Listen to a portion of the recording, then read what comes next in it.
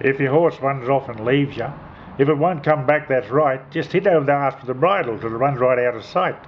'Cause you're bound to catch a new one if you cast the rope just right. To saddle up and mount and ride all through the starry night. No need to bloody worry, mate, if the sticks don't fit just right. How'd they get in your underpants, guess the crows did build at night. Or how to uh, catch a new horse or a new new lover, whichever you like. Uh, by Don Johnson.